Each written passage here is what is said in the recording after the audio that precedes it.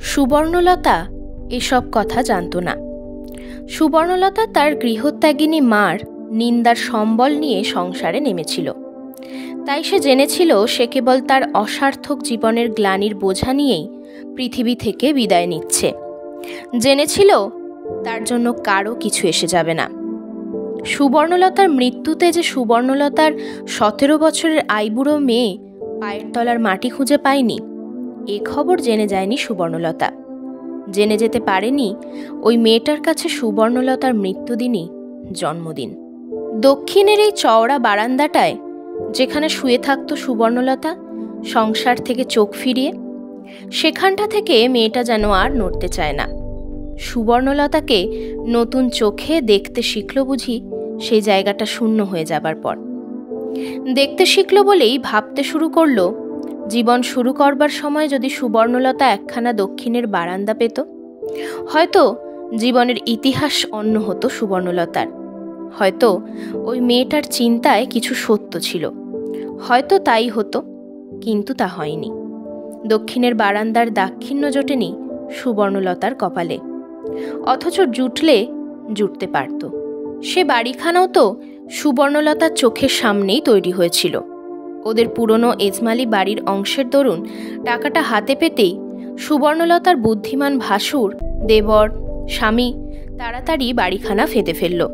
বলল, টাকার পাখা আছে। ওকে পুঁতে ফেলাই বুদ্ধির কাজ। গলির মধ্যে তা হোক, বড় রাস্তার মুখেই দুবার মোড় ঘুরতে হয় না। সেই বাড়িতেই তো ত্রিশটা বছর কাটিয়ে গেছে সুবর্ণলতা। সেখান থেকেই বার আষ্টেক আঁতুরে গেছে। কেঁদেছে, হেসেছে, খেটেছে, বিশ্রাম করেছে। সংসার লীলার যাবতীয় লীলাতেই অংশগ্রহণ করেছে। তবু পিঞ্জরের যন্ত্রণা বোধে অহরহই ছটফট করেছে। সুবর্ণলতার স্বামী ক্ষুব্ধ গর্জনে বলল যেচে দুঃখ ডেকে আনা সেধে কষ্ট ভোগ করা। শত সুখের মধ্যিখানে রাত দিন দীর্ঘ নিঃশ্বাস পড়ছে মানুষের। আর কি চাই তোমার? আর কত চাই? সুবর্ণলতা বলতো আমি তো কিছু চাই না। তা চাইবে কেন? না বলতে যখন সব কিছু হাতের কাছে পেয়ে যাচ্ছ, তোমার অন্য জায়দের সঙ্গে অবস্থা মিলিয়ে দেখেছ কোনোদিন? সুবর্ণলতা মৃদু হেসে বলতো, দেখেছি বই কি। তবু রাত দিন নিঃশ্বাস। যেমন মা, তেমনই ছাতো হবে। সুবর্ণলতা তীব্র স্বরে বলতো, আবার? ওর বর তখন ভয় পেয়ে বলতো আচ্ছা বাবা আচ্ছা আর বলব না। ওই তীব্রতার পিছনে যে এক ভয়ঙ্কর অভিজ্ঞতার স্মৃতি, ভয় পাবে বই কি? কিন্তু এসব তো অনেকদিন পরের কথা। যখন সুবর্ণলতার রগের কাছে রূপলি তারের আভাস, যখন সুবর্ণলতার সেই দীর্ঘ উন্নত বারবারন্ত গড়নে ক্ষয় ধরেছে। আগে যখন সুবর্ণলতা তার স্বামীত্যাগিনী মায়ের নিন্দনীয় ইতিহাসের সম্বল নিয়ে মাথা হেঁট করে শ্বশুরঘর করতে এসেছিল যখন কোনো একটা উপলক্ষ পেলেই সুবর্ণলতার শাশুড়ি সুবর্ণলতাকে তার বিয়ের দরুন পাওয়া জড়িতে, জবরজং বেগুনি রঙা বেনারসি শাড়ি আর বড় বড় কলকাতার লাল মখমলের জ্যাকেট পরিয়ে সাজিয়ে ফেলত। আর বাড়িতে কেউ বেড়াতে এলেই তার সামনে সাতখানা করে নিন্দে করত বউয়ের আর বউয়ের বাপের বাড়ির। তখন? তখন এত সাহস কোথায় সুবর্ণর? নিজের বাড়িতেই তখন আড্ডা ছিল মুক্তকেশীর। যেতে হতো না কোথাও। পাড়ার সবাই আসতো মুক্তকেশীর কাছে। অলিখিত আইনে পাড়ার মহিলাকুল সবাই ছিল মুক্তকেশীর প্রজা। বাড়িটা তিনতলা, ঘর দালানের সংখ্যা কম নয়।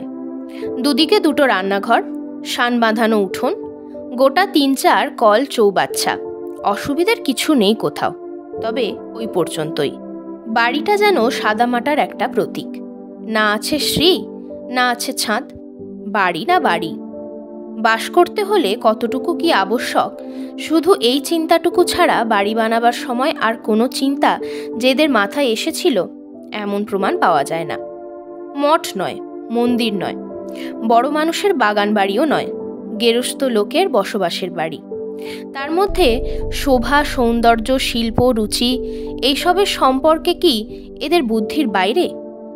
সুবর্ণলতাকে তাই এরা পাগল বলে। বলবে না কেন? সুবর্ণলতা যে ওই সব অদ্ভুত জিনিসগুলো খুঁজে বেড়ায়।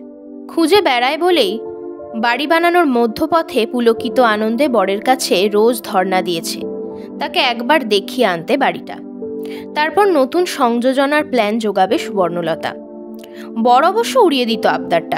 সুবর্ণ বলতো, বাহ, তোমাদের আর কি। কতক্ষণই বা বাড়িতে থাকো। খাওয়া, নাওয়া আর ঘুম, এই তো? বাড়ি ভোগ করতে তো আমরা মেয়ে মানুষরাই। আমাদের মত নিয়ে করলে করলে আর কি? লোকে বলবে স্ত্রৈন। তবে যেতে চাও, মাকে বলোকে মাকে যে বলতে হবেই এই সত্য জানত বই কি সুবর্ণ। তবু বরের কাছে আবদার করায় আমোদ আছে, মিষ্টত্ব আছে, আশা আছে। হ্যাঁ ছিল বইকে আশা। বরের উপর না হোক নিজের ক্ষমতার উপর অনেকখানি আস্থা আর আশা ছিল তখন সুবর্ণলতার। তখন সুবর্ণলতা কানে ইয়ারিং পরত, তিন পেরে ডুরে শাড়ি পরত আর অনেক কসরত করে কাঁচ পোকা ধরে তাকে কেটে কেটে টিপ করত। ইচ্ছেটাই তখন প্রবল তার, সব বিষয়ে। অতএব মুক্তকেশীকে গিয়ে ধরল, বাড়িটা একবার দেখতে চলুন না মা, বেশি তো দূর নয়। মুক্তকেশী অবশ্য সেই আগ্রহে জল ঢাললেন। হাঁ হাঁ করে উঠে বললেন, শোনো কথা, এখন যাবে কি? অদিনে অক্ষণে গেলেই হলো। ভিটে বলে কথা, ঠাকুরমশাই শুভ দিন দেখে দেবেন। বাস্তু পুজো করে তবে তো গৃহপ্রবেশ। তার্কিক স্বভাব। সুবর্ণলতা অবশ্যই সঙ্গে সঙ্গেই দুম করে বলে বসেছিল, আর এই যে আপনার ছেলেরা নিত্যদিন যাচ্ছেন, তার বেলা দোষ হয় না? মুক্তকেশী অভ্যস্ত বিরক্তিকর গলায় বলেছিলেন, তক্ক করা রোগটা ছাড়ো তো বাছা। এই রোগেই আমার হাড় পুড়িয়ে খেলে তুমি। ব্যাটা ছেলের আবার কিছুতে দোষ আছে নাকি? মেয়ে মানুষকেই সব কিছু মেনে শুনে চলতে হয়। অতএব বাড়ি তৈরি হতে হতে আর সেই বাড়িকে দেখা ঘটেনি সুবর্ণলতার। কারণ সুবর্ণলতা যে মেয়ে মানুষ, এটা তো অস্বীকার করবার নয়। অগত্যা আবার বরকেই ধরা। সামনের দিকে একটা বারান্দা রাখতে হবে কিন্তু, ঝুল বারান্দা, যাতে রাস্তা দেখা যায়। সুবর্ণলতার বর চোখ কুচকে বলে উঠেছিল, কেন? রাস্তার দিকে ঝোলা বারান্দা হঠাৎ কি এত দরকার পড়ল? বিকেলবেলা বাহার দিয়ে দাঁড়াবার জন্য? সুবর্ণলতা তখনও ছেলে মানুষ। তখনও ওর সন্দেহ বাই বরের কুটিল কথাগুলোর অন্তর্নিহিত কদর্য অর্থগুলো ধরতে পারত না। তাই বলে উঠেছিল, বারে, বাহার দেওয়া আবার কি? রাস্তার দিকে বারান্দা থাকলে রাস্তাটা কেমন দেখা যায়? ঠাকুর ভাসান মহরম, বরকনে যাওয়া, ঘটার মরা, হরিকীর্তন, কত কি দৃশ্য রাস্তায়। বড় অবশ্য এবার হেসে ফেলেছিল। ওই এক কুটিল বাতিগ্রস্ত হলেও বয়সে সেও ছেলে মানুষই। এসে বলেছিল, আর কিছু না হোক, শেষেরটা একটা দ্রষ্টব্য বটে। বিশেষণটা দিয়েছ ভালোই, ঘটার মরা। সুবর্ণলতা অতঃপর মুখঝামটা দিতে কসুর করেনি। বলেছিল, ভুল কি বললাম? ঘটা পটা করে মরা নিয়ে যায় না লোকে? তা যায় বটে। আমাকেও তাই নিয়ে যাবে তো? আবদেরে গলায় বলে উঠল সুবর্ণলতা। আমি যখন মরে যাব, ঘটা করে সংকীর্তন করে নিয়ে যাবে? বর মাথায় হাত দিয়ে বলে, সর্বনাশ, কে আগে মরে তার ঠিক আছে? আমি তোমার থেকে কত বড় আমি নির্ঘাত আগে মরব। সুবর্ণলতা নিশ্চিন্ত গলায় বলে, ইস, মরলেই হলো আর কি। সেদিন মার সেই কালীঘাটের দৈবজ্ঞী আমার হাত দেখে কি বলে গেল মনে নেই? না, মনে নেই তো। বড় অসহিষ্ণু গলায় বলে, কি বলেছিল? আমি অমর হব? যদিও বউয়ের বয়স মাত্র চোদ্দ এবং তার বাইশ তত্রাচ অসহিষ্ণুতায় খুব একটা ঘাটতি দেখা যাচ্ছে না। অন্তত বরপক্ষে তো নয়। কিন্তু কথার ভরচাজ, সুবর্ণলতাকে যে এই রাত্রিরেই যত কথায় পায়, তাই সে বলে ওঠে, আহা কলিযুগে যেন অমর বর আছে। বলেছে, আমি সধবা মরব। বাহ! বেড়ে খবর তো। এই সুখবরটা দিতে বোধ হয় বেশ কিছু বাগিয়ে নিয়ে গেছে তোমার কাছ থেকে। আমার কাছ থেকে? সুবর্ণলতা আকাশ থেকে পড়ে। আমি আবার কোথায় কি পাবো? মা সবাইয়ের হাত দেখালেন। চাল দিলেন, পয়সা দিলেন, নতুন গামছা দিলেন। না, দিনের বেলায় নয়। দিনের বেলায় ছেলে মানুষ বৌবরের সঙ্গে গল্প জুড়বে। এমন অনাচার আর যা সংসারে হয় হোক, মুক্তকে মুক্তকেশীর সংসারে কদাপি ঘটতে পারে না। এ নাটক রাত্রেরই। প্রথম অঙ্কের প্রথম দৃশ্য। অবশ্যই বর এই মধুর ক্ষণটুকু এমন অকারণে অপব্যয় করতে রাজি নয়। তাই ওই তুচ্ছ কথার জবনিকা টানতে বলে ওঠে, ভালোই করেছেন। ওরা সব লোক সুবিধের নয়, ওদের সন্তুষ্ট রাখাই ভালো। এই মন্তব্যের পরই বর একটু অনুচ্চ হাসির শব্দ শুনতে পায়। সঙ্গে সঙ্গে কঠোর গলায় বলে ওঠে, হাসলে যে? এমনি। এমনি মানে? এমনি কেউ হাসে? পাগলে হাসে। তা তুমি কি পাগল? ছিলাম না। তোমাদের সংসারে এসে হয়েছি। চতুর্দশী সুবর্ণলতা প্রায় পাকা গিন্নিদের মতোই ঝঙ্কার দেয়। দেখে শুনেই পাগল। মার কোন কাজটাই বা তোমাদের কাছে ভুল? মা যদি ওকে কিছু না দিতেন, নির্ঘাত বলতে দেননি বেশ করেছেন। যত সব ভণ্ড বলা বাহুল্য সুবর্ণপতি এতে খুব প্রীত হয় না। তীব্র স্বরে বলে ওঠে, তবে কি করা উচিত মাকে? থো করে বউয়ের পদদক খাওয়া? সুবর্ণলতা দুর্গা দুর্গা করে ওঠে, বলে, যা নয় তাই মুখে আনা। তার মানে আমার রাগিয়ে দিয়ে কাজটি পণ্ড করার চেষ্টা। আমি কিন্তু রাখছি না, আমি হচ্ছি ভবি। এই তোমার গা ছুঁয়ে প্রতিজ্ঞা করছি। সামনে বারান্দা না করলে তোমাদের সে বাড়িতেই যাব না আমি। বর তখনকার মতো বলে আচ্ছা আচ্ছা দেখা যাবে। এখন শো তো এসে।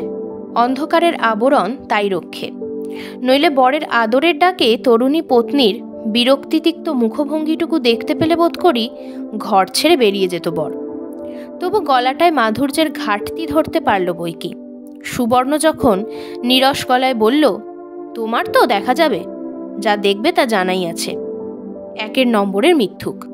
বাড়ি করতে আর জমি পেল না গলির মধ্যে।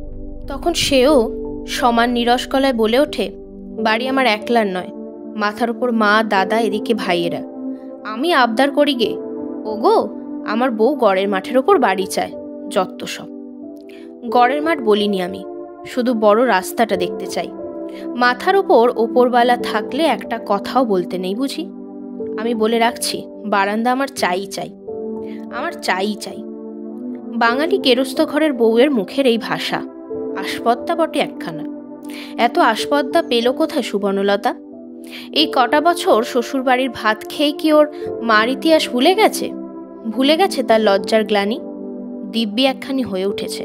আসপদ্দাটা তাহলে ওই জন্মসূত্রেই পাওয়া? তাছাড়া আর কি? আর তো বউ রয়েছে মুক্তকেশীর। তারা তো রাত দিন ভয়ে কাঁটা। যখন তখন তাই উদ্দেশ্যে গালি পারেন মুক্তকেশী। কি করব? দুই বুড়ি যে মরে হাতছাড়া হয়ে গেছে। নইলে আমার মাকে আর সই মাটিকে নিতাম এক হাত।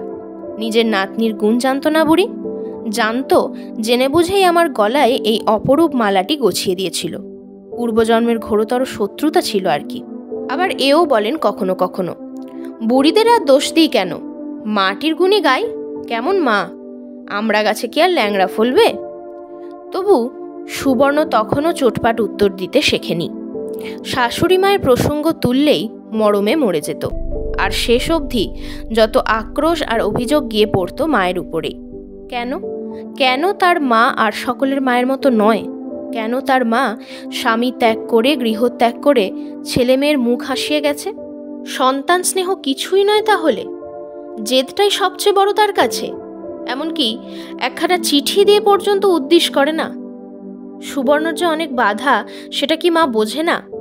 সুবর্ণ যদি তার মাকে একখানা চিঠি লিখতে বসে, বাড়িতে কোর্ট কাছারি বসে যাবে। আইন জারি হবে না? নিষেধাজ্ঞা? একেই তো এই অপরাধে কেউ তাকে দেখতে পারে না। জবরজং গাঢ় বেগুনি রঙা বেনারসি শাড়ি।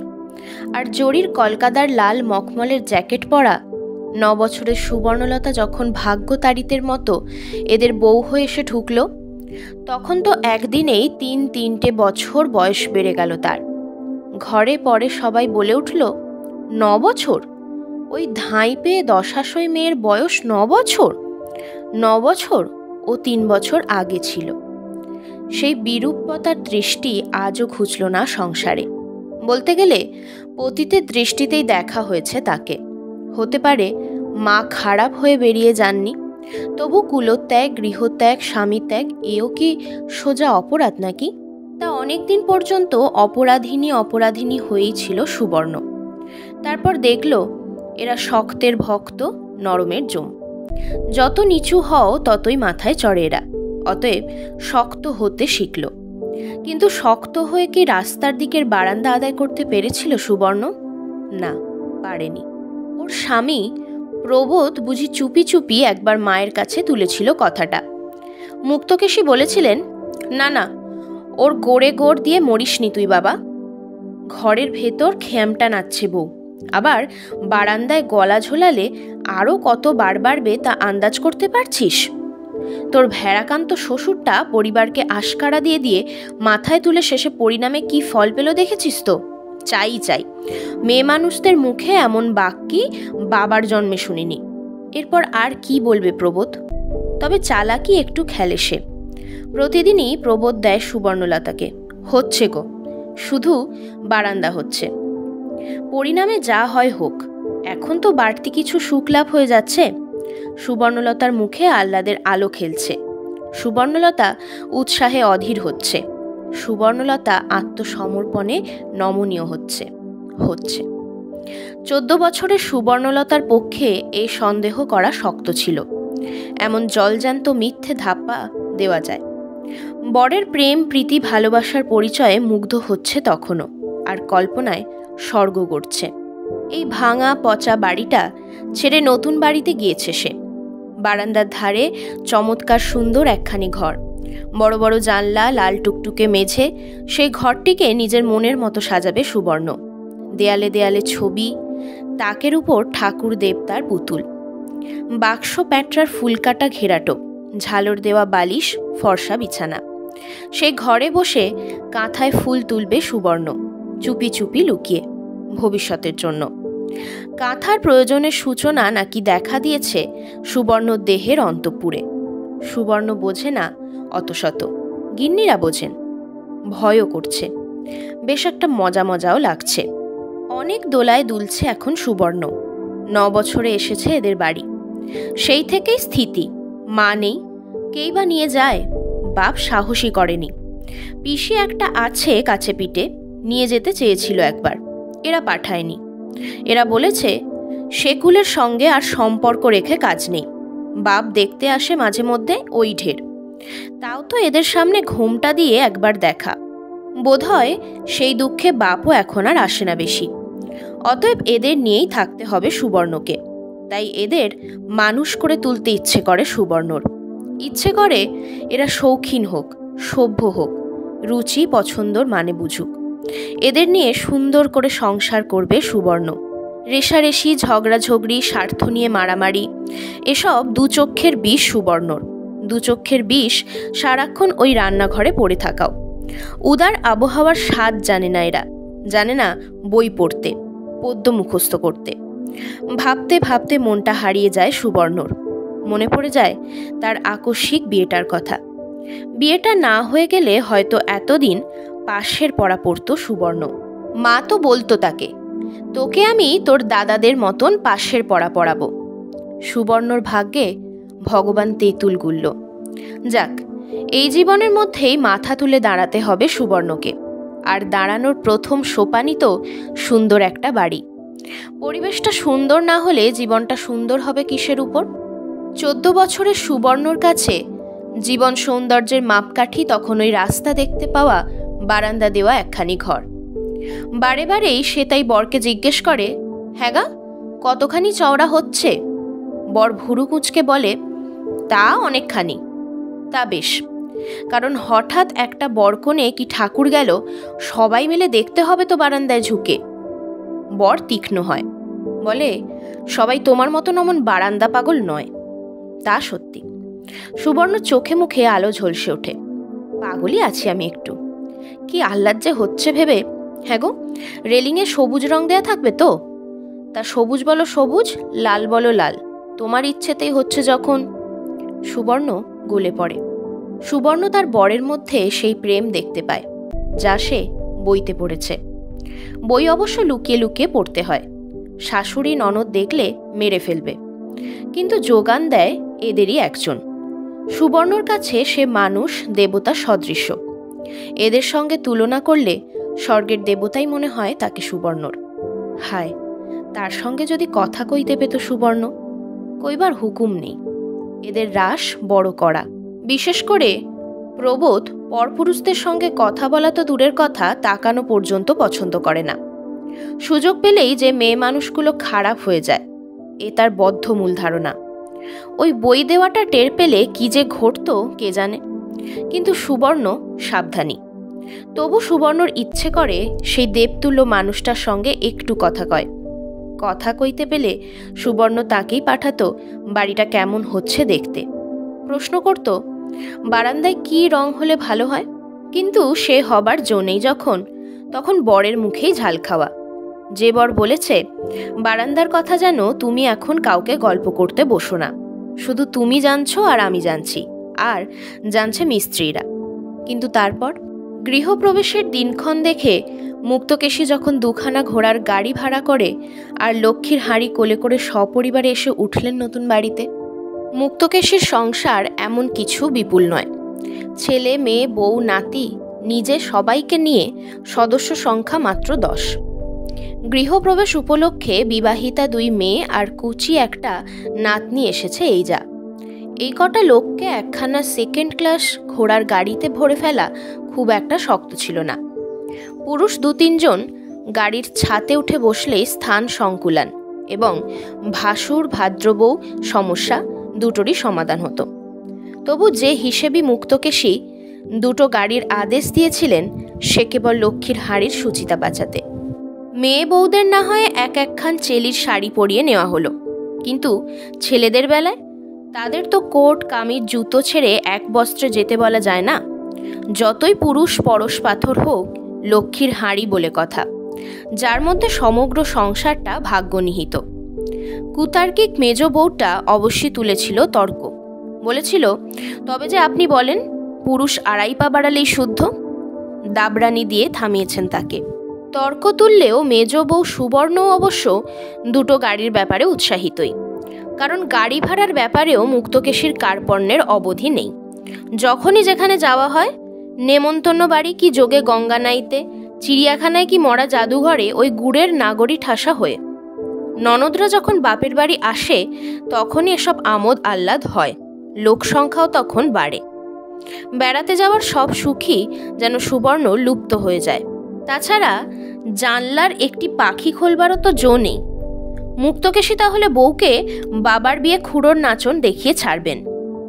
দুই যা, দুই ননদ আর শাশুড়ি। মাত্রই পাঁচজন পুরো একখানা গাড়িতে। ছোট দেওর তো গাড়ির মাথায় আছে পথ প্রদর্শক হিসেবে। সুবর্ণ যেন হাত পা মেলিয়ে নিঃশ্বাস ফেলে বাঁচে, আর সঙ্গে সঙ্গেই অপূর্ব এক পুলক আবেগে মনটা উদ্বেল হয়ে ওঠে তার। হ্যাঁ তাই। এটাই হচ্ছে সেই আসন্ন ভাগ্যের সূচনা। খোলামেলা বারান্দার ধারের ঘর অথবা ঘরের ধারে বারান্দা অপেক্ষা করছে সুবর্ণর জন্যে।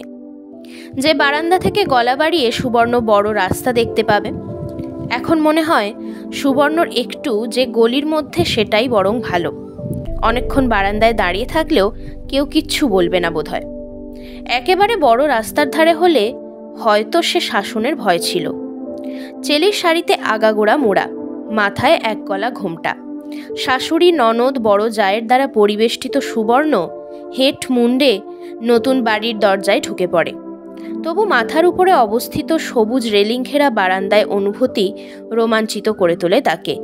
সমস্ত মন উদগ্র হয়ে থাকে সিঁড়ির দিকে। কিন্তু সহজে সিঁড়ির দিকে যাওয়া যায় না। কারণ নিচের তলায় ঠাকুর ঘরে বহুবিধ নিয়মকর্মের পালা চলতে থাকে। শান্তি জল না নিয়ে উঠে পড়বার প্রশ্নই নেই। তবু এক সময় সে পালা সাঙ্গ হয়। শান্তি জল মাথায় নিয়েই টুক করে অন্যজনদের মাঝখান থেকে সরে আসে সুবর্ণ। পা টিপে টিপে দোতলায় ওঠে।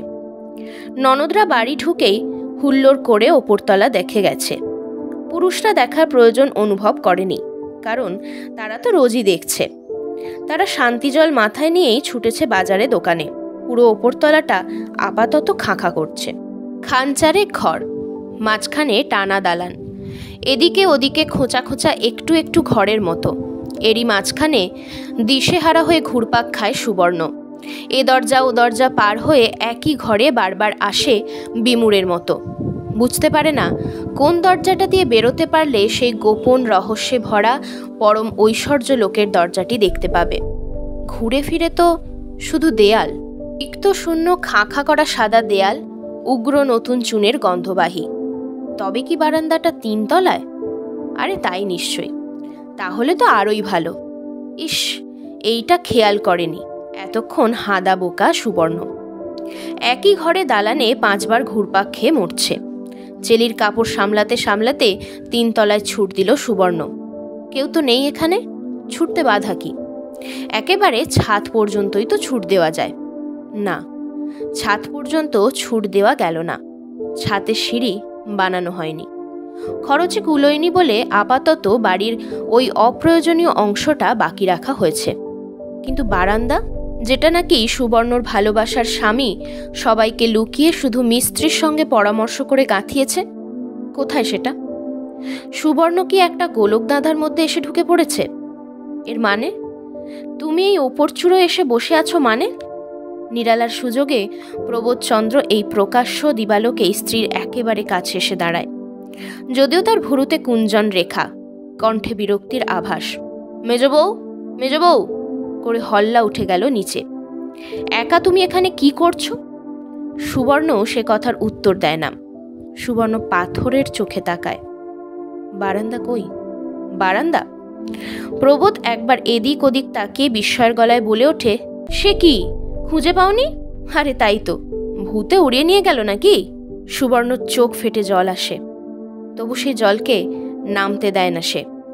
কঠোর গলায় বলে মিথ্যে কথা কেন বললে আমার সঙ্গে? প্রবোধ তবু দমে না। হেসে হেসে বলে, মিথ্যে কি গো? সত্যি সত্যি। ছিল তো। ভূতে কিংবা কাগে নিয়ে পালিয়েছে? এই তোমার গা ছুঁয়ে বলছি। বলেই এদিক ওদিক তাকিয়ে খপ করে সেই দুঃসাহসিক কাজটা করে নেয়। গাটা একবার ছুঁয়ে নেয়। একটু বেশি করেই নেয়। এরপর আর চোখের জল বাধা মানে না। সুবর্ণ দু হাতে মুখ ঢেকে বসে পড়ে বলে তুমি আমায় ঠকালে কেন? কেন ঠকালে আমায়? জানো, বাবা মাকে ঠকিয়েছিল বলেই মা থাক থাক। এবার প্রবোধ বীরত্বে উদ্দীপ্ত হয়ে ওঠে। তোমার মার বাহাদুরির কথা আর বড় মুখ করে বলতে হবে না। ব্যাটা ছেলে, পুরুষ, বাচ্চা ভেরুয়ার মতন পরিবারের কথায় ওঠবোস করবে? কেমন? বারান্দা বারান্দা। বারান্দার জন্য এত বুক ফাটাফাটি কেন শুনি? কই, বড় বউ তো একবারও ও কথা মুখে আনেনি? তার মানে সে ভালো ঘরের মেয়ে। তোমার মতন এমন ছক্কা পাঞ্জা নয়। বারান্দায় গলা ঝুলিয়ে পরপুরুষের সঙ্গে চোখাচোখি স্বাদ নেই তার। ইনি বারান্দার বিরহে তিনতলায় উঠে এসে পা ছড়িয়ে কাঁদতে বসলেন। নিচে ওদিকে বড় বউ কুটনো বাটা, রান্না, মাছকোটা নিয়ে হিমশিম খেয়ে যাচ্ছে। যাও শিগগির নিচে নেমে যাও। হ্যাঁ নিচে সুবর্ণকে নেমে যেতে হয়েছিল। নিচের তলায় সেই বিভীষিকাময় দৃশ্যের ছবি কল্পনা চক্ষে দেখার পর আর বসে থাকার সাহস হয়নি তার। শুধু অপরিসীম একটা ধিক্কারে দীর্ণ বিদীর্ণ হতে হতে সে মনে মনে বলেছে, ভগবান, তুমি সাক্ষী। বারান্দা দেওয়া ভালো বাড়ি আমি করব করব করব। আমার ছেলেরা বড় হলে, মানুষ হলে এই অপমানের শোধ আমি নেব, প্রতিজ্ঞা। কিন্তু সুবর্ণলতার সেই আগের প্রতিজ্ঞা? ও যে বলেছিল, বারান্দা না থাকলে সে বাড়িতে আমি থাকবই না। হায় রে বাঙালি ঘরের বউ, তার আবার প্রতিজ্ঞা। শুধু চোরের ওপর রাগ করে মাটিতে ভাত খাওয়ার মতো বাড়ির মধ্যে সব থেকে ওঁচা ঘরটা নিজের জন্য প্রার্থনা করেছিল বোকা অভিমানিনীটা। বাড়ির পেছন দিকের উত্তর পশ্চিম কোণে সেই ঘরটা কারোর প্রার্থনীয় হতে পারে, এটা মুক্তকেশীর ধারণাতীত। ঘরবিলি করার ব্যাপারে তিনি তখনও মনে মনে হিসেব করছিলেন, জ্যেষ্ঠ শ্রেষ্ঠ ভাগ। এই নীতিতে বড় ছেলেকে পূর্ব দক্ষিণের সেরা ঘরখানায় দিতে হয়। সেজো ছোট, দুই ছেলেই তার একটু শৌখিন। তাছাড়া আজই না হয় তারা আইবুড়ো আছে। দুদিন বাদে তো বিয়ে হবে। তিনতলার ঘর থাকলে ভালো হয় তাদের। এদিকে আবার নিজেরও মাথা গরমের বাতিক। ঘুপটি ঘরে ভয়। তাছাড়া তার ঘরেই তো তার আইবুড়ো মেয়ের স্থিতি। খারাপ ঘরটা নিলে রেগে মরে যাবে না সে? ওদিকে আবার মেয়ে জামাই আশাআশি আছে। মেয়েদের আঁতুর তোলা আছে, তাদের থাকা আছে। খপ করে তাই কোনো কিছু ঘোষণা করে বসেননি মুক্তকেশী। এহেন সময়, যখন খাওয়া দাওয়ার পর সবাইকে নিয়ে দোতলায় উঠেছেন তিনি, তখনই এই প্রার্থনা জানায় সুবর্ণ। মুক্তকেশী একটু অবাক না হয়ে পারেন না, তারপর মনে মনে হাসেন। এদিকে একটু তর্কবাগিস হলেও স্বার্থের ব্যাপারে বোকা হাবা হয়ে আছে বউটা। তবু বিস্ময়টা প্রকাশ করেন না।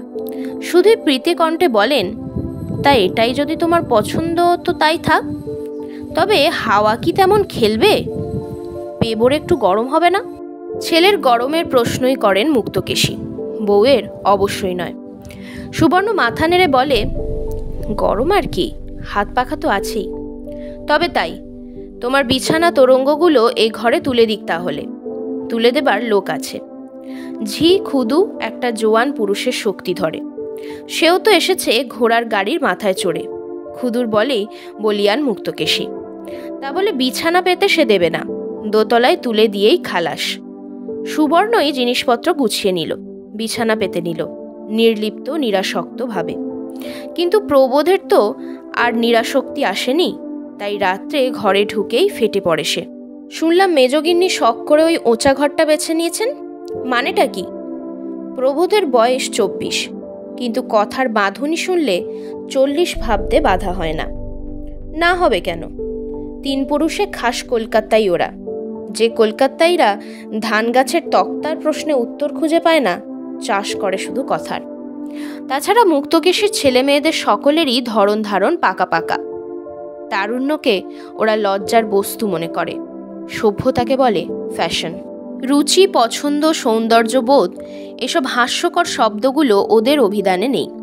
আর জগতের সারবস্তু যে পয়সা এই বিষয়েও কারও দ্বিমত নেই। তা বলে সবাই যে লোক খারাপ তা মোটেই নয়।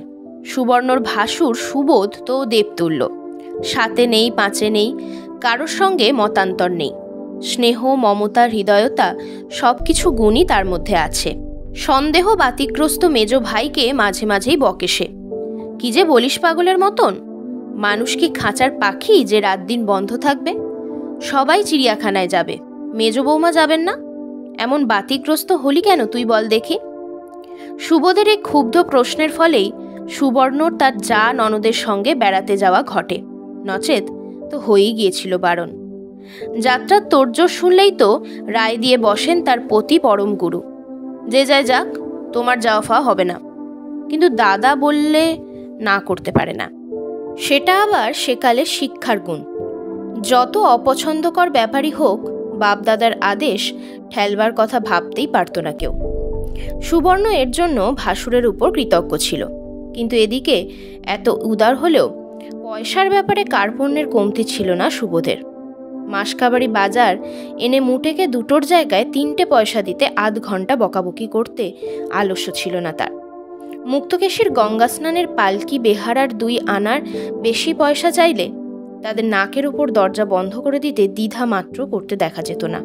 দ্বিধা অবশ্য আরও অনেক কিছুতেই করে না সে। যেমন বাড়ির বাইরের রকে গামছা পরে বসে তেল মাখতে দ্বিধা করে না। উঠোনের চৌবাচ্চার ধারে দাঁড়িয়ে স্নান করতে দ্বিধা করে না। দেখে সুবর্ণর মনটা যেন কি এক অব্যক্ত যন্ত্রণায় ছটফট করে। এ যেন দেবদূতের গায়ে ছেঁড়া পোশাক, ফুলের গায়ে কাদা তবু ভাসুরকে সুবর্ণ ভক্তি করে। ভক্তি করে বড় ননদকে। সেই ছোট্টবেলায় বেগুনি, বেনারসি মোড়া সুবর্ণ যখন কাঁদতে কাঁদতে এদের বাড়িতে এসে দুধে আলতার পাথরে পা দিয়ে দাঁড়িয়ে হঠাৎ ডুকরে উঠে বলেছিল, আমাকে তোমরা ছেড়ে দাও গো, তোমাদের পায়ে পড়ি। তখন চারিদিক থেকে ছিচিক্কারে অগ্নিবাণে সুবর্ণ তো প্রায় ভস্য হতে বসেছিল। মুক্তকেশী তো এই মারে কি সেই মারে? সেই দুঃসময়ে ওই বড় ননদই রক্ষা করেছিল তাকে। বলেছিল, তোমরা সব কি গো? দুধের বাছা একটা। আর ভেতরের ঘটনাও জেনেছ সবাই। ওর প্রাণটার দিকে তাকাচ্ছ না? বাড়ির বড় মেয়ে, জামাই দ্বিতীয় পক্ষের হলেও একটা কেষ্টবিষ্টু। কেউ তাই আর তাকে দাবড়াতে পারেনি। কিন্তু বউকে কচি বাচ্চা বলায় যা হেসেছিল সবাই। বলেছিল, আসছে জন্মে আবার ন বছরের হবে ও মেয়ে। ননদ আবারও তাড়া দিয়েছিল আচ্ছা আচ্ছা বয়সের হিসেব পরে হবে। প্রবর চাইতে তো আর বড় নয়। এখন বরণটা করো। তদ্বোধি বড় ননদকে দেবী জ্ঞান করে সুবর্ণ। সে যখন আসে, যেন হাতে চাঁদ পায়।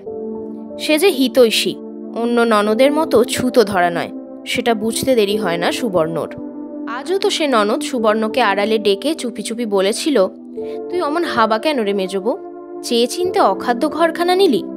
মেজবউ অবলীলায় বলেছিল, তা একজনকে তো নিতেই হবে। কিন্তু এখন ননদের ভাইয়ের তীব্র প্রশ্নের উত্তরে অবলীলায় যা বলল, সেটা অন্য কথা। এখন বলল, কেন? ঘরটা খারাপ কিসের? ভালো তো। একটা জানলা খুললে পড়শির ভাঙা দেয়াল, আর একটা জানলা খুললে গেরস্তের কল, পায়খানা, মিটে গেল ল্যাঠা, সব দিক দিয়ে নির্ভয়। পরপুরুষদের সঙ্গে চোখাচোখির বাসনা থাকলেও সে বাসনা মিটবে না। প্রবোধ তীব্র চাপা গলায় বলে সেই বিষ মনে পুষে আক্রোশ মেটানো হলো। আচ্ছা মেয়ে মানুষ তো। সুবর্ণ বালিশটা উল্টে পাল্টে ঠিক করতে করতে বলে, কথাতেই আছে, সৎসঙ্গে স্বর্গবাস। বিষ পুটুলির সঙ্গগুণে জমেছে বিষ। প্রবোধও পাল্টা জবাব দেয়, আমার মনে বিষ? আর নিজের জীবখানি? সে তো একেবারে বিষের ছড়ি। সুবর্ণ শুয়ে পড়ে বলে, তা সেটা যখন বুঝেই ফেলেছ? ছুরি ছোড়ার থেকে সাবধান থাকাই মঙ্গল। বটে? আমি পুরুষ বাচ্চা। আমি শালা সাবধান হতে যাব পরিবারের মুখ আছে বলে? তাহলে হয়েও না, সুবর্ণ অবলীলায় বলে। ছোট লোকের মতন হারাই ডোমাই করো রাত দিন। তবু তুমি তোমার জীব সামলাবে না? হক কথায় সামলাবো না। হঠাৎ একটা কাণ্ড ঘটে। প্রবোধচন্দ্র বীর পুরুষের ভঙ্গিতে উঠে বসে স্ত্রীর মাথার তালের মতো খোঁপাটা ধরে সজোরে নেড়ে দিয়ে বলে তোমার আসপদ্দার মাত্রা বাড়তে বাড়তে বড্ড বেড়ে গেছে দেখছি। গলা ধাক্কা দিয়ে ঘর থেকে বার করে দিতে পারি তা জানো? তুমি আমার চুলের মুঠি ধরলে? সুবর্ণ উঠে বসে। সুবর্ণর ফর্সা ধপধপে গালের উপর বড় বড় কালো চোখ দুটো যেন জ্বলে ওঠে। ভয়ানক কিছু একটা বুঝি বলতে চায় সুবর্ণ। তারপর সহসায় গম্ভীর গলায় বলে, জানব না কেন? খুব জানি। বাঙালির মেয়ে হয়ে জন্মেছি আর এইটুকু জানব না? প্রবোধ বোঝে বেগতিক। গৃহপ্রবেশের সুখের দিনে রাতটাই মাটি। তাই সহসাই সুর বদলায়। নিতান্ত ঘনিষ্ঠ হয়ে সরে এসে বলে, কেবল রাগ বাড়িয়ে দিয়ে মন্দ কথাগুলো শোনার স্বাদ। এই কটু কথাগুলো তুমিই মুখ দিয়ে বার করাও। আমি শালা এদিকে সারাদিন হাপু গুনছি। কখন রাত আসবে আর মহারানী মেজাজ দেখিয়ে, না, তুমি বড্ড বেরসি সুবর্ণর বয়স চোদ্দ বছর। অতএব প্রবোধের জয় হতে দেরি হয় না। কিন্তু সে কি সত্যিই জয়? জয় যদি তো অনেক রাত্রে পরিতৃপ্ত পুরুষটা যখন নাক ডাকিয়ে ঘুমোতে থাকে, ঘরের বাতাস উষ্ণ হয়ে ওঠে কেন? একটা ভয়ঙ্কর আক্ষেপের দীর্ঘশ্বাসে। যে দীর্ঘশ্বাসটা কথা হয়ে উঠলে এই রকম দাঁড়ায়। এটা এরকম কেন? সারা জীবন এদের নিয়ে কাটাতে হবে আমায়। কিন্তু এটা সুবর্ণলতারই বাড়াবাড়ি বই কি? সাধারণ ঘর সংসারী মানুষ, এছাড়া আর কি হয়? সবাই তো এই কথাই জানে। মানুষকে খেতে হয়, ঘুমুতে হয়, বংশবৃদ্ধি করতে হয়। এবং সেই কাজগুলো নিশ্চিন্তে সমাধা করবার উপায় হিসেবে টাকা রোজগার করতে হয়। আবার খেটে খুঁটে ক্লান্ত হলে তাস, পাশা খেলতে হয়। মাছ ধরতে হয়, রকে বসে রাজনীতি করতে হয়, ছেলে শাসন করতে হয়, মেয়ের বিয়ে দিতে হয়, আর বুড়ো হলে তীর্থ, ধর্ম, গুরু গোবিন্দ করতে হয়। এরা জানে মাকে ভক্তি করতে হয়, স্ত্রীকে শাসন করতে হয়। এবং সর্ববিষয়ে মেয়ে মানুষ জাতটাকে বেঁধে রাখতে হয়। শুধু মুক্তকেশী ছেলেরাই এরকম। একথা বললে অন্যায় হবে, অধিকাংশই এরকম। তারতম্য যা, সে কেবল ব্যবহার বিধিতে। সুবর্ণ বৃথায় দুষছে তার শ্বশুরবাড়িকে। অকারণেই ভাবছে, হায় মন্ত্র বলে সমস্ত পৃথিবীটা ওলটপালট হয়ে গিয়ে যদি মাঝখানের এই দিনগুলো মুছে যেত? যদি রাত পোহালেই দেখতে পেত সুবর্ণ ন বছরের সুবর্ণ তাদের সেই মুক্ত রামবাবুর স্ট্রিটে বাড়ির থেকে স্কুলে যাচ্ছে বই খাতা নিয়ে। সুবর্ণর মা হাসি হাসি মুখে দরজার সামনে দাঁড়িয়ে আছে। একবার যদি এমন হয়, জীবনে আর কখনো সুবর্ণ তার ঠাকুমার ছায়া মারাবে না। ঠাকুমার কাছে দেশের বাড়িতে একা না গেলে তো মাকে লুকিয়ে এমন হুটুককারী বিয়ে দিয়ে বসতো না কেউ সুবর্ণর। এতদিনে তাহলে হয়তো পাশের পড়া পড়তো সুবর্ণ। না মা কখনো তার বিয়ে দিত না তো তাড়াতাড়ি। বাবু বললেও না। ঠাকুমাই তার শনি। ঠাকুমা তার সইয়ের মেয়েকে নাতনির শাশুড়ি করে দিয়ে সইয়ের কাছে শুয়ো হলেন। সাধে কি আর ঠাকুমার কাছে যেতে ইচ্ছে করে না সুবর্ণর? মানুষটাকে যেন তার জীবনের শনি মনে হয়। যেদিন বড় দুঃখ হয়, অপমান হয়, রাত দুপুরে এইসব চিন্তায় ছটফট করে মরে সুবর্ণ। আর সমস্ত ছাপিয়ে মায়ের উপর একটা দুরন্ত অভিমানে দীর্ণ হতে থাকে। মা তো দিব্যি চলে গেল। সুবর্ণ মরল কি বাঁচল একবারও ভাবল না। মা যদি কলকাতায় থাকতো, সুবর্ণকে এমন করে এক দুয়ারি হয়ে পড়ে উঠতে হতো না। বিয়ে হয়ে এসে মায়ের জন্য কি কম গঞ্জনা শুনতে হয়েছে সুবর্ণকে? তখন মানে বুঝতো না সব কথার। এখন তো বোঝে। বোঝে তো কি কলঙ্কের ডালি মাথায় নিয়ে সুবর্ণ জীবন শুরু। সুবর্ণ সামনেই তো গিন্নিরা বলা বলি করেছে। হ্যাঁ গা, ঘরণী গিন্নি। সংসারী, বিয়ের যোগ্যে দু দুটো ব্যাটা অমন শিবতুল্য স্বামী আর মাগি কিনা কুলে কালি দিয়ে চলে গেল। মুক্তকেশী, বেয়ানের দোষ ঢাকতে যত না হোক, নিজের বংশের মান সামলাতেই তাড়াতাড়ি বলতেন, কুলে কালি অবশ্যই নয়, তবে স্বামী পুত্তুরের মুখে চুনকালি দিয়ে তো বটেই। মেয়েকে স্কুলে দিয়ে হাতি করবেন, এই বাসনায় ছাই পড়ল। শাশুড়ি বেগতিক দেখে নাতনিটাকে নিজের কাছে আনিয়ে নিয়ে ঝটপট বে দিয়ে ফেলল। এই রাগে গড় গড়িয়ে মানুষ ঠিকরে চলে গেলেন কাশিবাস করতে। কাশিবাস? হুম, এই বয়সে কাশিবাস। মহিলারা নাক সিটকন। অর্থাৎ পুরোপুরি অগ্রাহ্যই করেন কথাটা। এতক্ষণ যে সুবর্ণর মার বয়সের ব্যাখ্যায় তৎপর হচ্ছিলেন, তা মনে রাখেন না। মুক্তকেশী আবার সামলান, বলেন, কাশিতে যে বাপ বুড়ো আছেন গোমাগির থাকুক ঝঙ্কার দিয়েছেন তারা। বলি, স্বামী পরিত্যাগিনী তো বটে। সে মেয়ে মানুষের আর রইল কি? তুমি ভাই মহৎ, তাই আবার ওই বউকে ঘরে তুলেছ। কন্যা হাতেও জল খাবে? মুক্তকেশী সদর্পে ঘোষণা করেছেন, জল? জল আমি কোনো বেটির হাতেই খাই না। আপন পেটের মেয়েদের হাতেই খাই নাকি? যেদিন থেকে হাত শুধু করেছি, একবেলা সপাক হব্বিসি আর একবেলা কাঁচা দুধ গঙ্গা জল, ব্যাস। গরবিনী মুক্তকেশী অতঃপর আপন কৃচ্ছ সাধনের ব্যাখ্যা করতে বসতেন। সুবর্ণ হাঁ করে শুনত। হাঁ করে, কারণ তখন তো জানতো না সুবর্ণ। আচমনি খাদ্য মানে কি? অম্বুবাচি কাকে বলে? নিরম্বু উপোসের দিন বছরে কটা। দীর্ঘশ্বাস মর্মরিত ঘর ক্রমশ স্থির হয়ে আসে।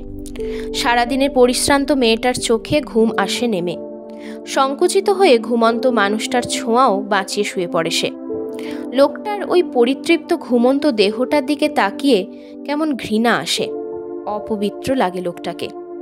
এই কিছুক্ষণ আগেই যে ওর আদরের দাপটে হিমশিম খেতে হয়েছে, তা ভেবে বুকটা কেমন করে ওঠে। কিন্তু কি করবে সুবর্ণ? চারিদিকে কত লোক? বিদ্রোহ করে কি লোক জানাজানি কেলেঙ্কারি করবে? তাছাড়া সব দিনগুলোই তো আজকের মতো নয়। সব দিনেই কিছু আর বিদ্রোহ আসে না। নিজের মধ্যেও কি নেই ভালোবাসার আর ভালোবাসা পাবার বাসনা? কি করবে তবে সে? ওকে ছাড়া আর কাকে? আর ওই মানুষটা ভালোবাসার একটাই অর্থ জানে। আদর করবার একটাই পদ্ধতি। নেব না, বললে দাঁড়াবে কোথায় সুবর্ণ?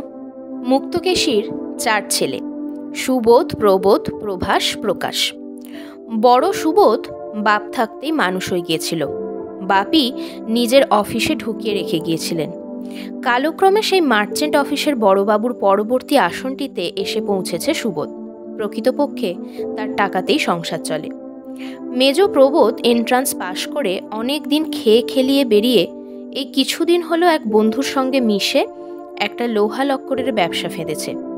টাকাটা বন্ধুর, খাটুনিটা প্রবোধের। সেজ প্রভাস হচ্ছে বাড়ির মধ্যে সেরা, বিদ্যান ছেলে। এফে পাশ করে ফেলে সে ওকালতি পড়বে পড়বে করছে। আর প্রকাশ গোটা পাঁচ ছয় ক্লাস পর্যন্ত পড়েই পাড়ার শখের থিয়েটারে স্ত্রী ভূমিকা অভিনয় করছে আর চুলের কেয়ারি করছে। সুবর্ণর বিয়ের সময় সংসারের অবস্থা প্রায় এই ছিল। অনেকদিন পর্যন্ত সুবর্ণ এদের সকলের পুরো নাম জানত না। শুভ, পেব, পেভা, পেকা। এই ছিল মুক্তকেশীর সম্বোধনের ভাষা। ছোট ননদ বিরাজকে ডেকে একদিন ধরে বসল সুবর্ণ। তোমাদের সব নাম কি বলো তো শুনি? মা তো তোমায় রাজু রাজু করেন। রাজবালা বুঝি কোনো কথা। রাজু অবাক হয়ে বলে, এতদিন বিয়ে হয়েছে, শ্বশুরবাড়ির লোকের নাম জানো না? মেজদা বলেনি? সত্যি বলতে, রাজুর মেজদাকে কোনো দিন এ কথা জিজ্ঞেসও করেনি সুবর্ণ। মনেও পড়েনি জিজ্ঞেস করতে। এখনই হঠাৎ মনে পড়ল, জিজ্ঞেস করে বসল। কিন্তু সে কথা না ভেঙে সুবর্ণ ঠোঁট উল্টে বলে, তোমার মেজদাকে জিজ্ঞেস করতে আমার দায় পড়েছে। তুমি রয়েছ হাতের কাছে অন্যের খোসামত করতে যাব কেন? বয়সে তিন বছরের ছোট ননদকেও এই তো আজটুকু করে নেয় সুবর্ণ। রাজু অবশ্য তাতে প্রীতই হয়। আঙুল গুনে বলে বড়দির নাম হচ্ছে সুশীলা, মেজদির নাম সুবালা শেষদি হচ্ছে সুরাজ, আর আমি বিরাজ। আর দাদাদের নাম হচ্ছে মহৎশাহী গল্প হচ্ছিল ননদ ভাজে। হঠাৎ মস্ত পরিস্থিতিটাই গেল বদলে।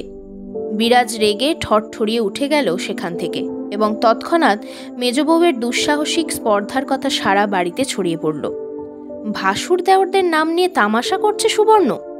ননদের নাম দিয়ে ভেঙিয়েছে? করেছে? সত্যই করেছে সেটা সুবর্ণ? কিন্তু সুবর্ণ কি জানতো? একটু কৌতুকে এত দোষ ঘটবে? আর নামের মানে জিজ্ঞেস করলে অপমান করা হয়? সুরাজ শুনে বলে উঠেছিল যে ও মা সুরাজ আবার কীরকম নাম? ও নামের মানে কি? একে যদি ভেঙানো বলে, তো ভেঙানো তবে হ্যাঁ দেওরদের সম্পর্কে বলেছে বটে একটা কথা তামাশা করে। পরপর চারজনের নাম শুনে হি হি করে হেসে বলে উঠছে, তা চার ভাইয়ের মিল করে নাম রাখলে হতো। বিরাজ ভুরু কুচকে বলেছিল, সুবোধ প্রবোধের সঙ্গে আর মিল কই? সুবর্ণ হেসে কুটি কুটি হয়েছিল, কেন? অবোধ, নির্বোধ? সঙ্গে সঙ্গে ঠিকরে উঠেছিল বিরাজ। বয়সের থেকে অনেকখানি জোরালো হুঙ্কার নিয়ে বলেছিল, এত আসপত্তা তোমার মেজ বউ? শেষদা ছোটদাকে তুমি নির্বুদ্ধি বলে সাহস পাও? রোশো মাকে বলে দিয়ে আসছি। মাকে বলে দেওয়ার নামে অবশ্য সুবর্ণর মুখটা শুকিয়ে গিয়েছিল। ব্যস্ত হয়ে ওর হাত চেপে বলেছিল ও মা তুমি রাগ করছ কেন ভাই? আমি তো ঠাট্টা করেছি। কিন্তু বিরাজ হাত ধরার মান রাখেনি, হাত ছাড়িয়ে নিয়ে চলে গিয়েছিল। সঙ্গে সঙ্গে অবশ্য মুক্তকেশীর আবির্ভাব। যেন না ধমকানো না। থমথমে গলায় বললেন, কোন লক্ষ্মী ছাড়া ঘরে মানুষ হয়েছিল মেজ বৌমা? শিক্ষা সহবত নেই? এদিকে পাকা পাকা কথার জাহাজ, বলি পেবা পেকার নাম নিয়ে ধিক দিয়েছ কেন শুনি? সুবর্ণ এবার সাহস সঞ্চয় করে বলে ফেলে, আমি তো ঠাট্টা করেছি। ঠাট্টা? ঠাট্টা করেছ? বলি, মেজ বৌমা, ঠাট্টাটা কাকে করেছ? এই শাশুড়ি মাগিকে? আর সেই মরা শ্বশুরকে তো? নামকরণ তো ওরা নিজেরা করতে যায়নি, এই আমরাই করেছি। সাত জন্মে এমন কথা শুনিনি যে পুঁটকে একটা বউ এসে ঠিকুচি কুলুচি চাইতে বসে, নাম নিয়ে ব্যাখ্যানা করে। হ্যাঁ পেবা পেকা শুনলে কি বলবে গো? বর্ণলতা বলে ফেলে, সবাইকে যদি শুনিয়ে বেড়ান, তবে আর কি করব। আমি তো কাউকে শোনাতে যাইনি। ঠাট্টা করে বলেছিলাম, ছোট ঠাকুরজি লাগিয়ে দিতে গেল কেন? বউয়ের মুখ থেকে এমন স্পষ্ট পরিষ্কার ভাষা শোনার অভ্যাস মুক্তকেশীর নেই। বড় বউ উমাশশীর মুখ দিয়ে সাতচরে রা বেরোয় না। বনপো বউ, ভাগ্নে বউ তাও অনেক দেখেছেন, পেটে পেটে বজ্জাতি। হাড় হারামজাদা হলেও মুখে এমন খই ফোটায় না কেউ। আরও থমথমে গলায় বলেন, আমার গর্ভের মেয়ের অমন লাগানো ভাঙানো স্বভাব নয় মেজ বৌমা। ভাইদের ঘেন্না দেওয়া দেখে প্রাণে বড় লেগেছে তাই বলে ফেলেছে।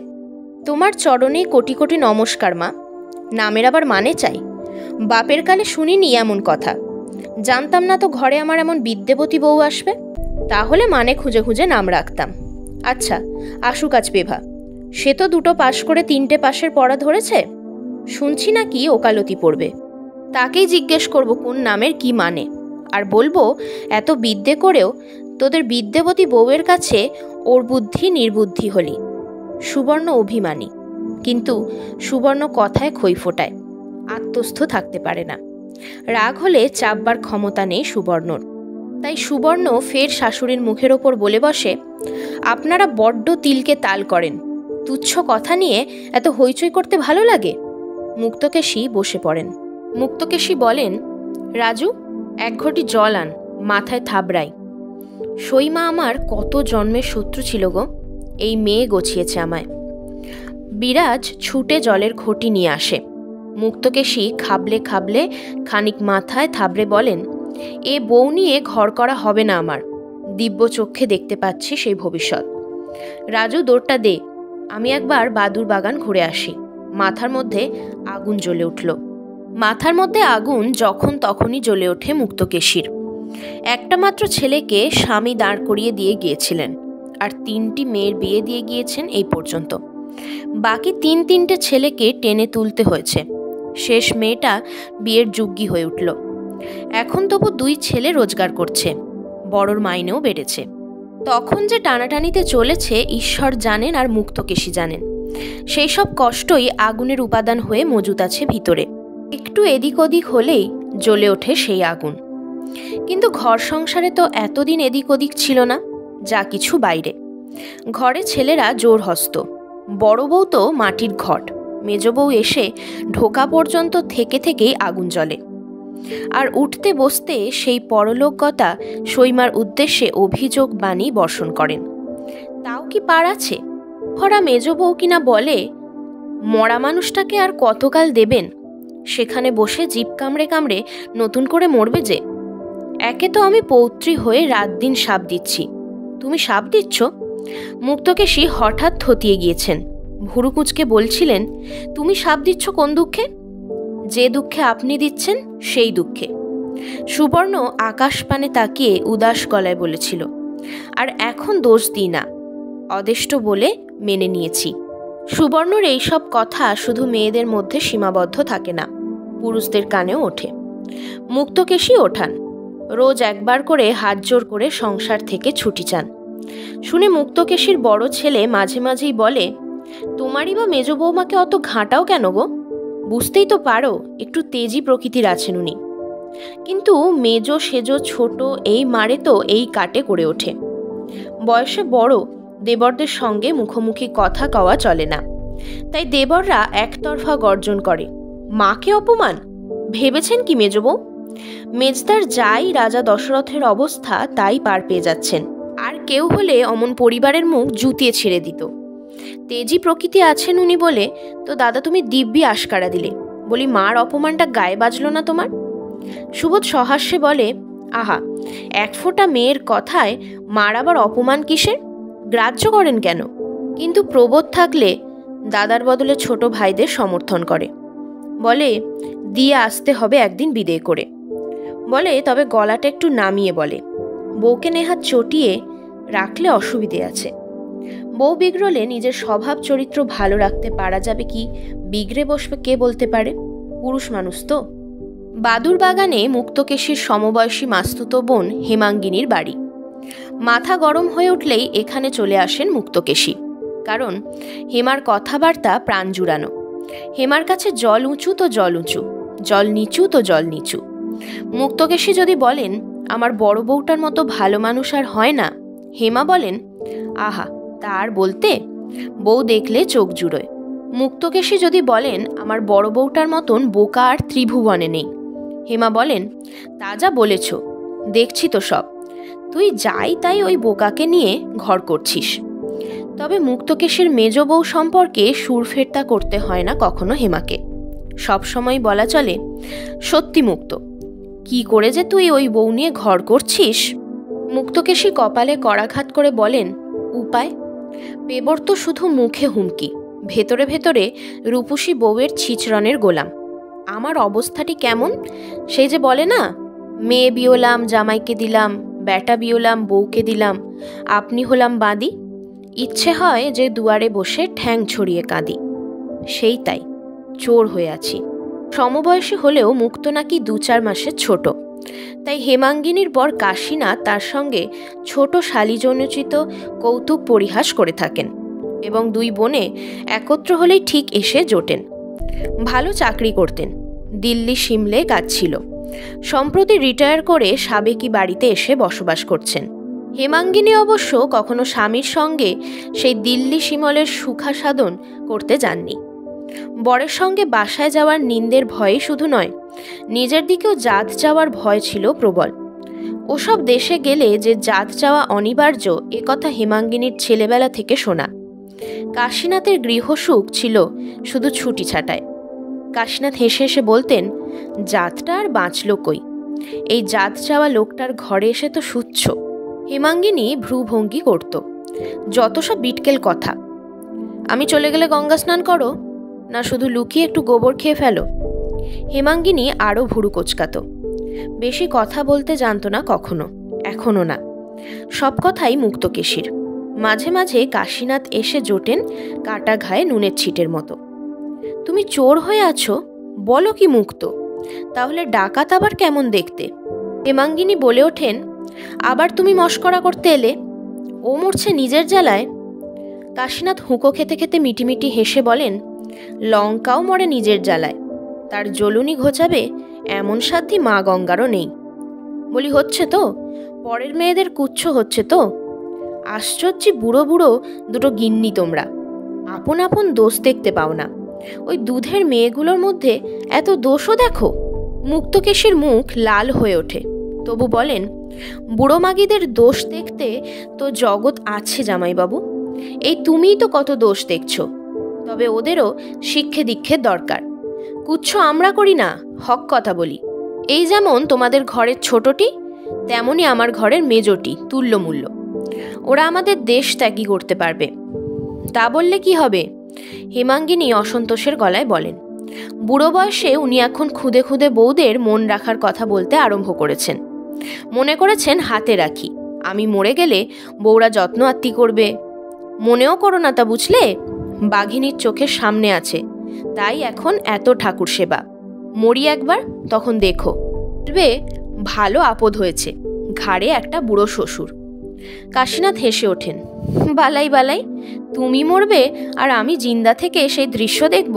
ছি, তুমি দু দশ দিন মুক্তর মতন মাথা মুড়িয়ে হাত ন্যাড়া করে স্বাধীনতার সুখটা ভোগ করে নাও। বৈধব্যকালটাই তো মেয়ে মানুষের আসল সুখের কাল গো। তাতে আবার যদি বয়সকালটা একটু ভাঁটিয়ে আসে, কার সাধ্যি হক কথা বলে? জামাইবাবুর যেমন কথা। মুক্তকেশী কোপ প্রকাশ করেন। কাশীনাথ দমেন না। বলেন, হক কথা কও ভাই মুক্ত। ভাইরা ভাই যখন বেঁচে ছিল এত পা ছিল তোমার? এত স্বাধীনতা? এই রকম হাড় জ্বালানো কথাবার্তা কাশীনাথের। কিন্তু শুনতেই হয়, উপায় কি? হেমা যে তার প্রাণের সখী। হেমার সঙ্গেই যত সলা পরামর্শ। শিষ্যাও বটে। বউদের কিসে জব্দ রাখতে হয় আর ছেলেদের কি করে বসে রাখতে হয় সে বিদ্যাকৌশল মুক্তকেশী শেখান হেমাঙ্গিনীকে। আজ কিন্তু মুক্তকেশী পরামর্শ চান। বেহেড বউকে কি করে দাবে আনি বল দেখি হেমা। হেমাঙ্গিনীরও বোধ করি হঠাৎ গরুর পোস্ট পেয়ে বুদ্ধি খুলে যায়। গলা নামিয়ে ফিসফিস করে বলেন, দাবে আনা যায় ভাতে মারলে। বরের সোহাগেই তো ধরাখানা সরাখানা। তুমি একটা কোনো কৌশল করে ছেলেকে নিজের কাছে নিয়ে শোবে। দেখো, দুদিনে ঢিট হয়ে যাবে। মুক্তকেশীর কৌশলটা মনোপুত হয়, কিন্তু সম্ভব মনে হয় না। বলেন, ছোঁড়া যে তাহলে বুক ফেটে মরবে, বরং উল্টোরে মুক্ত। ডাকিনীদের খপ্পর থেকে দুদিন সরিয়ে নিলে বাঁচবে। তুই একটা বানানো কথা বল। বল যে স্বপ্ন দেখলাম, তোর সময় খারাপ আসছে। মাতৃমন্তর জপলে আর মায়ের আওতায় থাকলে তবেই রক্ষে। তবেই রক্ষে বুঝলে বড় বৌমা? মুক্তকেশী বড় বৌমার কাছে ফিসফিস করেন। এই বাক্যটি ভালো মতো করে বুঝিও তো তোমার মেজ জাটিকে। আমি বলতে গেলে মন্দ হব। তবে আমাকে তো ছেলের কল্যাণ, অকল্যাণ দেখতে হবে? না। তখনও সুবর্ণলতার চোদ্দ বছর বয়স হয়নি। তখনও তার অন্তরালে একটি প্রাণ কথা আশ্রয় লাভ করেনি। তখনও সুবর্ণরা সেই তাদের পুরনো বাড়িতে ছিল। যে বাড়ির উঠোনে দেয়াল তুলে তুলে তার জ্যাঠা শ্বশুর খুরশ্বশুররা নিজ নিজ সীমারেখা নির্দিষ্ট করে নিয়ে বসবাস করতেন এবং শাশুড়ি কুল খাওয়া দাওয়ার পাট চুকলেই এ বাড়িতে বেড়াতে এসে সংসারে সর্বত্র সেন দৃষ্টি ফেলতেন। কিন্তু সকলেই এক দলে নয়। ছোট খুশাশুড়ি সেন দৃষ্টি এই নতুন ব্যবস্থার ওপর পড়তেই তিনি মুক্তকেশীকে এসে চেপে ধরলেন। হ্যাঁ গো নদী, এ আবার কি আদিক্ষেতা তোমার? ঘরে ডবকা বউ প্রবোধ কেন তোমার আঁচল তলায় শুতে আসে? মুক্তকেশী যদিও দজ্জাল। তবু যা ননদকে কিছুটা মেনে চলেই আসছেন। তাই বেশ করেছি তোমার তাতে কি। না বলে সংক্ষেপেই বলেন, স্বপন পেয়েছি। স্বপন পেয়েছ? ও মা স্বপন পাবার বস্তু বিষয় পেলে না তুমি? কি স্বপন পেয়েছ শুনি? মুক্তকেশী আরও সংক্ষেপে বলেন, স্বপন বলা নিষেধ। ছোট বউ ব্যঙ্গের সুরে বলে জেগে স্বপন দেখলে বলতে নিষেধ হবে বই কি। তবে এও বলে রাখছি নদী, বজ্র আঁটুনি করলেই গেরো ফসকায়। এখন তোমার বউ মনের ক্ষেত মনে চেপে তোমার অন্যায় বিধেন মেনে চলছে। ভবিষ্যতে শোধ নেবে সেটা কিন্তু জেনে রেখো। বুড়ো তো হতে হবে, ওদের হাতে তো পড়তে হবে। মুক্তকেশী সদর্পে বলেন, কেন? মানুষের হাতে পড়তে যাব কেন? মা গঙ্গা নেই? যতক্ষণ চক্ষু ছড়ত থাকবে, ততক্ষণ দাপট করে সংসারে থাকব। ক্ষমতা গেলে গঙ্গা গর্ভে ঠাঁই নেব। তবে এ কথাটি বলে রাখি ছোট বউ, যার দুঃখে চোখে নোনা পানি ঝরছে তোমার, সেটি সোজা নয়। খেদ, খেদে তো মরে যাচ্ছে। বড় বৌমার কাছে কি বলেছে জানো? শুনে বাঁচলাম, হাড়ে বাতাস লাগল। কিছুদিন তবু ঘুমিয়ে বাঁচব। মা দুর্গার কাছে বর চাইব, সময় ওর যেন বরাবর খারাপ থাকে। শুনলে? এর পরেও করবে ক্ষেত? ওটা তেজ করে বলেছে। ছোট গিন্নি হেসে ফেলে বলেন, দুঃখ জানিয়ে খেলো হবে না, ওই আর কি। তা তোমার ছেলের অবস্থা কি? মুক্তকেশীও তেজি। মুক্তকেশী খেলো হবার ভয়ে মটমটিয়ে কথা বলেন, তবু আচমকা মুক্তকেশী একটু অসতর্ক হয়ে যান। বলে ফেলেন, ছেলের কথা আর বলিস নে, কামরূপ কামিক্ষের জন্তু, ছটফটিয়ে মরছেন, সারা রাত্রি ঘুম নেই। এই উঠছে, এই জল খাচ্ছে।